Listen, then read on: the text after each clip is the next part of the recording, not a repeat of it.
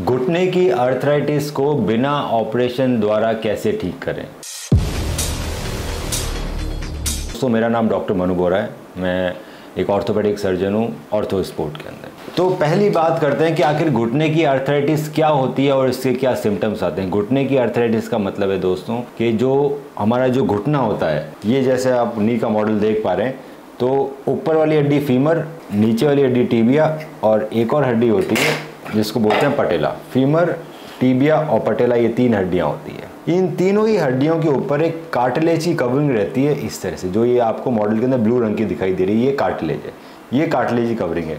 तो ये हमारी हड्डियों को स्मूथ बनाती है दोस्तों। जैसे गाड़ी में जो रबर का टायर होता है, उसी तरह से एक कार्टिलेज होता है जो कि मोटा और थिक होता है और स्मूथ होता है, जिससे हमें आराम से जब हमारे चल फिर रहे हैं तो हमें स्मूथ मूवमेंट होता है और इसमें दर्द नहीं होता घुटने में। क्यों? क्योंकि हमारा कार्टिलेज मोटा है। अर्थराइटिस का मतलब है कि हमारा कार्टिलेज अगर धीरे धीरे घिसने लगे, इसको बोलते हैं अर्थराइटिस जैसे कि आप इस मॉडल में देख पा रहे हैं, इसके अंदर मॉडरेट अर्थराइटिस डेवलप हो गई है। ये कार्टिलेज थोड़ा थोड़ा घिसने लगा आपको लाल लाल रेडी दिखाई देने लगी है। इसी में ये कंडीशन और जब सीवियर जाती है तो हमें इस तरह की अर्थराइटिस दिखाई देती है, जिसमें कार्टिलेज हट गया और नीचे हड्डी आ गई है। यह है सीवियर अर्थराइटिस जब सीवियर अर्थराइटिस हो जाती है तो चलने फिरने में बहुत दिक्कत आती है, घुटने में बहुत दर्द होता है। पहले हमारा कार्टिलेज घिसता है, एक बार कार्टिलेज घिस जाए, उसके बाद बोन घिसने लगता है। तो जब बोन घिसने लगती है तो हमारे पैर टेढ़े भी होने लगते हैं, दोस्त। तो आपने देखा होगा, बहुत सारे जो हमारे घर में बुज़ुर्ग लोग हैं, उनके घुटने में चलते समय दर्द भी होता है, और साथ साथ में उनके पैर टेढ़े भी आते हैं इस तरह से। जो टेढ़े होते हैं, वो भी सीवियर आर्थराइटिस को शो करता है कि कार्टिलेज के बाद अब उनका हड्डी भी घिसने लगी, उस वजह से उनके घुटने टेढ़े होने लगे। इसको कहते हैं अर्थराइटिस जनरली ये ओल्ड एज में डेवलप होना चालू होती है। कुछ कुछ बीमारियों में ये या ट्रॉमा के कारण ये यंगर एज में भी डेवलप हो सकता है। ये जब डेवलप होती है तो चलने फिरने में दर्द होता है, पैर टेढ़े हो सकते हैं, बड़ी कठिनाइयाँ आती है। अर्थराइटिस कैसे मालूम करते हैं? सिंपल होता है एक एक्सरे हम जब घुटने का एक्सरे कराते हैं, वो भी स्टैंडिंग एक्सरे मतलब खड़े खड़े तो हमें अर्थराइटिस का मालूम पड़ता है कितनी सीवियर अर्थराइटिस जब हम एक्सरे करते हैं तो हमें ऊपर वाली हड्डी दिखाई देती है फीमर नीचे वाली हड्डी दिखाई देती है टीबिया पर ये जो कार्टिलेज और मेनिस्कस है वो दिखाई नहीं देते दोस्तों। तो इसमें हमारे हड्डियों के बीच में गैप दिखाई देता है।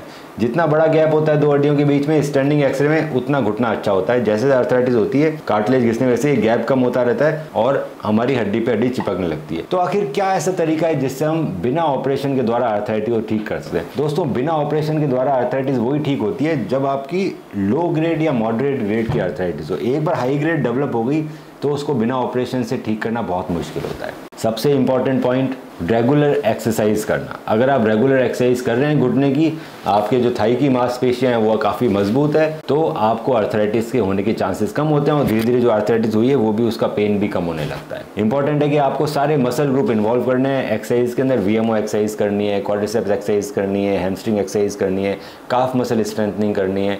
आपको हिप और बैक की भी स्ट्रेंथनिंग करनी है, क्योंकि वो सब आपस में जुड़े हुए हैं। तो आप जब सारी एक्सरसाइजेस करेंगे तो आपका पेन कम हो जाएगा और धीरे धीरे अर्थराइटिस जो जिस हिसाब से बढ़ रही है, उस हिसाब से बढ़ेगी नहीं। दूसरा, यही एक्सरसाइज करते समय आप एक नी स्लीव यूज़ कर सकते हैं, वो आपको ज़्यादा कंफर्टेबल फील कराएगी। आपको एक्सरसाइज करते समय पेन कम होगा अगर आप नी स्लीव यूज़ करते हैं तो। बहुत सारी नी स्लीव आती है दोस्तों, जिसके अंदर ना सिलिकॉन की रिंग होती है यहाँ पे। नी स्लीव के अंदर सिलिकॉन की रिंग होती है जो आपके पटेला को थोड़ा अपलिफ्ट करके रखती है वो सिलिकॉन की रिंग उसको बोलते हैं knee sleeve with silicone patellar ring वो पहन के आप एक्सरसाइज कर सकते हैं, वो पहन के आप वॉकिंग कर सकते हैं। रेगुलर एक्सरसाइज नी स्लीव दूसरा, जितना ज़्यादा वज़न पड़ेगा घुटने पे, उतना ज़्यादा घिसेगा वो दोस्तों। बहुत ज़रूरी है कि हमें वेट कम रखना है वेट मेंटेन रखना है। एक सिंपल सा फॉर्मूला है, जितनी आपकी हाइट है सेंटीमीटर में उससे माइनस हंड्रेड करेंगे तो वो आपका आइडियल वेट होना चाहिए। जैसे कि अगर वो 165 सेंटीमीटर आपकी हाइट है तो माइनस हंड्रेड मतलब 65 के आसपास आपका वेट होना चाहिए। वहीं जिनकी हाइट 172 है, उनकी जो वेट है वो 72 टू के के आसपास होना चाहिए। Exercises sleeve weight reduction healthy lifestyle के बाद भी कुछ लोगों में दर्द रह जाता है। तो आखिर उसको हम कैसे ठीक करें? तो तीन तरह के इंजेक्शन दोस्तों हम लगा सकते हैं आपके घुटने में दर्द कम करने पहला इंजेक्शन आता है स्टेरॉइड का। स्टेरॉइड का इंजेक्शन लगभग लोग छः महीने में, कुछ साल भर में लगाते हैं, उससे आपका पेन कम हो जाता है। दूसरा इंजेक्शन होते हैं जेल के। उसमें हाइलोनिक एसिड होता है तो जेल के जब इंजेक्शन डालते हैं तो आपके घुटने में लुब्रिकेशन आ जाता है और आपके दर्द कम होता है और आप आराम से एक्सरसाइज कर पाते हैं, चल फिर सकते हैं। साल भर में लगभग एक इंजेक्शन रिकमेंड किया जाता है। जो तीसरी तरह का इंजेक्शन है, वो सबसे अच्छे रहते हैं, उसको बोलते हैं पीआरपी सो पीआरपी भी कई क्वालिटी की आती है। पीआरपी दोस्तों, ये एक पीआरपी वायल है। ये एक दूसरे तरह की पीआरपी वायल है। ये आर्थरेक्स की है। इसका नाम है ACP autologous condition plasma so अलग अलग तरह की पीआरपी वायल्स आती है। पीआरपी का मतलब होता है प्लेटलेट रिच प्लाज्मा ये आप ही के ब्लड से बनती है। तो जनरली हम 20 एम ब्लड निकालते हैं पेशेंट का। उसको हम पीआरपी वायल में डालते हैं। उसको सेंट्रीफ्यू किया जाता है। उससे क्या होता है? पीआरपी वायल के नीचे ब्लड इकट्ठा हो जाता है पीआरपी वाल के नीचे ब्लड इकट्ठा हो जाता है और ऊपर आ जाता है पीआरपी या एसीपी इसके अंदर प्लेटलेट्स होते हैं ग्रोथ फैक्टर्स होते हैं रीजनरेटिव प्रॉपर्टीज़ होती है। ये पीआरपी जब हम आपके घुटने में इंजेक्ट करते हैं तो आपका जो डैमेज कार्टिलेज है दोस्तों, उसको ये रीजनरेट करता है पीआरपी यंगर पेशेंट में जनरली मैं प्रेफर करता हूँ कि हम थ्री शॉट्स दें पीआरपी के सेवन डेज़ के इंटरवल पे।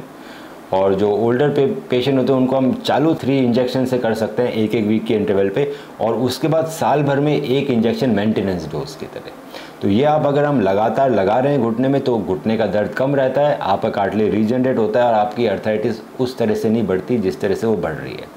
तो धीरे धीरे हम कंफर्टेबली अपनी सर्जरी को अवॉइड कर सकते हैं पर बहुत ज़रूरी है कि पीआरपी की डोज क्या है। So double dose PRP better रहती है सिंगल डोज से कई बार तो जो भी पेशेंट आता है हमारे पास तो हम उसमें लगभग दो वायल यूज़ करते हैं पीआरपी का एक नी के लिए।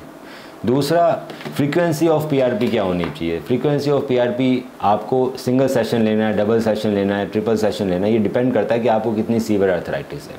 तो सेवन सेवन डेज़ के इंटरवल पे या फिफ्टीन डेज़ के इंटरवल पे हम सेशंस कर सकते हैं। एक बार आपका इंजेक्शन पूरा हो गया तो फिर आपको साल भर में एक इंजेक्शन लेना पड़ता है ताकि आपका मेंटेनेंस चलता रहे। तीसरी इंपॉर्टेंट बात कि पीआरपी लेने से ही सब चीज़ें सही नहीं होती। पीआरपी लेने के बाद जो नए कार्टिलेज सेल्स डेवलप हुए हैं, उनको बचाना बहुत ज़रूरी है।